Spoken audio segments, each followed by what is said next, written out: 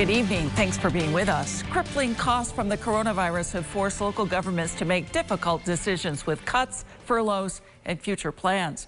Revenue losses in the tens of millions for some CNY cities. Mayors from all parties demanding federal funding ASAP. As News Channel 9's Josh Martin tells us, the services you count on are at stake.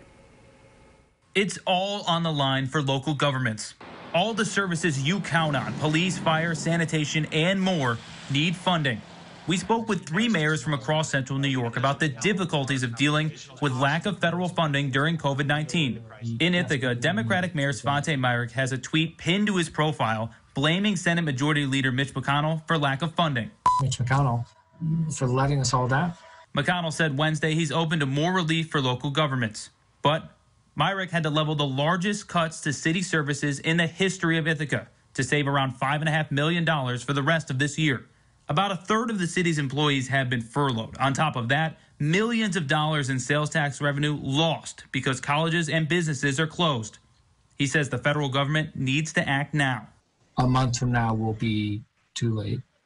Uh, I think we will need anywhere between seven and thirteen million dollars in federal relief just to deliver uh, the bare necessities of municipal function. In Oswego, Republican Mayor Billy Barlow facing many of the same challenges. Costs are up, revenue, including the number one source, sales tax, is way down. With only a $50 million budget for the city, Barlow is banking on help at some point at the federal level. We're the front lines. Uh, we're the the uh, ground floor of government, and uh, we feel that uh, we respond uh, we respond with boots on the ground, so to speak, just as just even more so than than other governments as you go higher up, county, state, federal. And in the city of Syracuse, Mayor Ben Walsh, an independent, says he's looking at about a $30 million loss in revenue, not counting expenses because of the virus. Mayor Walsh has yet to make any significant cuts, but the budget is due next month. Uh, without help from the federal government, uh, many of those essential services, at least as we're used to them being delivered, are very much at risk million dollars. Three mayors from three different cities, a Democrat, a Republican, and an independent, all in agreement.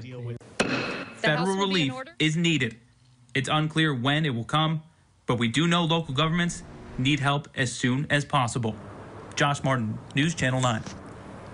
County leaders have also called for federal aid. Our representatives in Congress said last night in our coronavirus town hall they will work to get relief to local governments. You'll find the full interviews with all three mayors at localsyr.com.